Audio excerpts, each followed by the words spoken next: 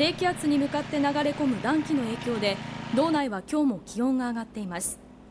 午前11時の気温は道南の江差町で8.6度室蘭市で7.4度となっています。記録的な大雪となっている岩見沢市では4度まで上がり積雪はピークだったおとといから34センチも減少しています。